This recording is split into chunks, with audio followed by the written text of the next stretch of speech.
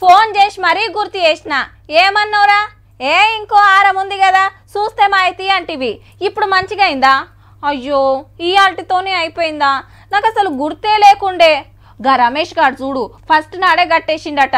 మంచిగా రెండు వేలు మిలిగినాయి. ఇప్పుడు నీకు పదివేలు తుట్టి పడ్డాయి పో. మామా జర నువ్వన్నా చూడవైతివి. ఇప్పుడు ఎంత పనాయే? అని మీరేం బాధపడకుర్రి. మీకు కావాల్సినంత టైం ఇచ్చిండ్రు. పెండింగ్ చలాన్లు కడతానికి ఇంకింత టైం ఇచ్చింది సర్కారు. ఈ నెల ముప్పై ఒక్కటి దాకా ఛాన్సు. లెక్కకైతే ఇయాల్టికే ఆకరు కానీ పద్నాలుగు రోజులు టైం ఇచ్చిన మూడున్నర కోట్ల చలాన్లకు ఉత్త కోటి పద్నాలుగు లక్షల చలాన్లే కట్టిండ్రట.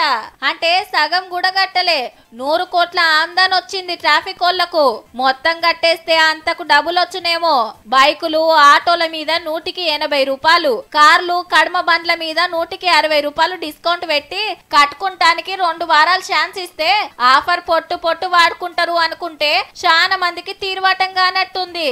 అయితే కట్టిన చలాన్ల సగం హైదరాబాద్ వాళ్ళయే. కడమ సగం జిల్లాలల్ల కట్టిండ్రు. పాత బస్తీలా నూటికి ఐదు చలాన్లే కట్టిండ్రట. ఆఫర్ ఆఫర్ అనుకుంటా చివరస్తాల కాడ మైకులల్లా చెప్పిరి. సోషల్ మీడియాలో సాటింపేసిరి ఏడనో లైన్లు కట్టకుండా అల్కగా ఫోన్లనే కట్టుకునే ఛాన్స్ ఇచ్చిరి. అయినా కూడా ఎందుకు లాపర్వా చేసిండ్రో అర్థమైతలేదట ట్రాఫిక్ వాళ్ళకు అయితే పోయిన ఏడు గిట్లనే ఆఫర్ పెట్టి నలభై ఐదు రోజులు టైం ఇస్తే రెండు వందల కోట్లు వసూలైనాయి. టైం తక్కువ ఇచ్చినాం కాబట్టి కట్టలేకపోయిండ్రేమో అని ఇంకో ఇరవై రోజులు వెంచిండ్రన్నట్టు కట్టనోళ్ళు ఎవరున్నారో ఇప్పుడన్నా కట్టేసుకుంటే మంచిది.